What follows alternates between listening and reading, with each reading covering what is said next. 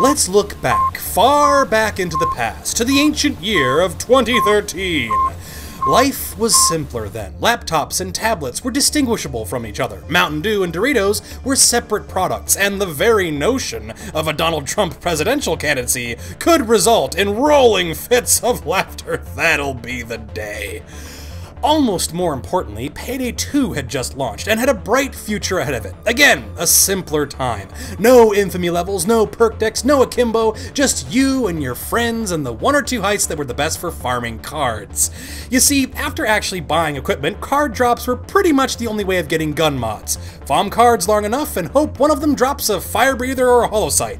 This was fabulously broken. There were few, if any, guns that reached 40 damage per bullet, that magical breakpoint for overkill difficulty, which is considered medium damage today. Every 10 to 20 damage was hard fought for, or hard ground for. So, you had groups of people running the same heists over and over for card drops so they could participate in this remarkably stingy system, handing out either fabulously useful exotique receivers or useless bundles of $5,000 in cash, rewarding not skill but luck. I call this system broken because it was the only way to get certain upgrades, like sights, or get certain guns over a breakpoint from just okay to completely awesome. The other reason was the way it made people play the game. Like I said, you could run into public lobby after public lobby full of people doing jewelry store over and over and over again until their brains exploded out of their heads and ran to their grandmother's houses. Because even if she only had a VHS copy of The Sound of Music and a jar full of hard candy in her apartment, it was still better than doing jewelry store one more time. So, how better to fix a broken system than a paid DLC? Yeah, I would have been furious if the Gage Courier Pack was a straight drop of mods for 5 bucks, because not only would they have been making the player pay to fix the game, but then the argument could be made, obviously they did this on purpose. It's a conspiracy to make a shell out for DLC! But Overkill worked their magic and actually turned what could have been a disaster into one of the best early generation DLCs in the lineup, and probably one of the more useful ones to this day. Okay, so get this. Yes, you are getting weapon mods in a paid pack, but it's how you unlock them that makes this cool.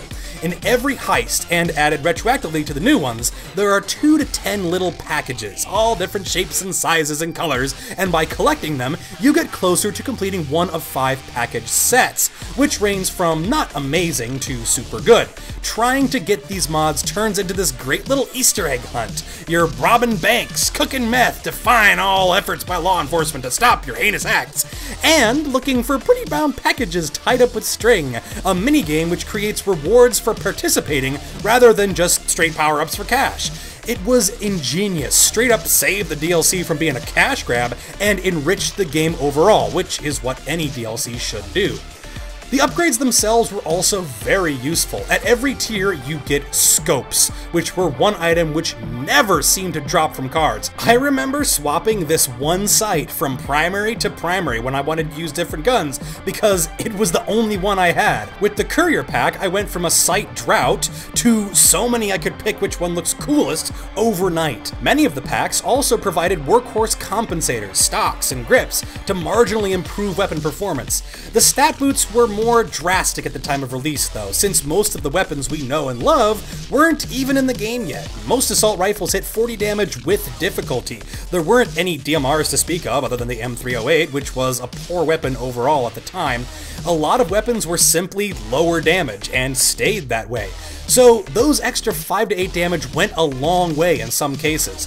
The grand prize, in my opinion, were the AK car quad stack mags, which you could use to bring any Skiffen Soviet or NATO pack gun to a 60 round magazine. In some cases, like for the Golden AK, this didn't matter as much, because the Golden AK's main issue is with total ammo, not ammo capacity in the magazine. I only need two words to express the brilliance of the quad stack mags.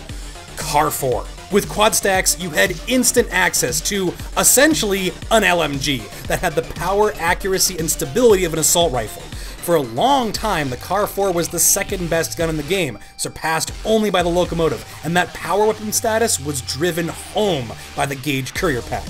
The minigame of collecting packages and the gun upgrades themselves that the Courier Pack added worked so well that they feel practically like part of the base game now. It's rare in gaming to find an idea, particularly an add-on, that gels so well with the core game and does what it sets out to do so completely and to the fullest practical measure. Now, the question remains whether or not the Courier Pack is still useful today. The sheer volume of DLC that the game has now has such a vast field of content, which pretty easily outpaces the usefulness of most of the mods in the pack. After the stats rebalance, hitting 40 damage isn't that difficult anymore, and while that means that your personal taste has more of a say in what guns you choose, it also means that fishing around for Gage courier packages is more of a compulsion for the OCD afflicted rather than something that rewards you in any considerable way. Was it good at the time? Absolutely. One of the best DLCs ever released. Is it worth getting now? Well, you got three bucks laying around you ain't got no more use for? The mods themselves might be rebalanced, maybe, perhaps, sometime in the future, and the scopes are still pretty cool, even though you don't need them anymore.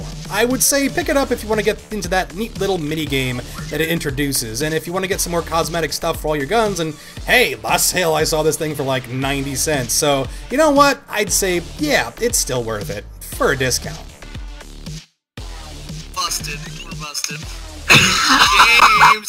Make us eggs? hey James. James is James is messed up. Part 3.14. Oh, you stole my joke. That's a bad sign. I'm scared. No, stop. No, James, we've gone too far down the rabbit hole.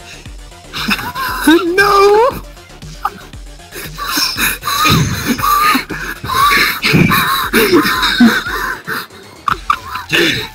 Into a bag or something. You're gonna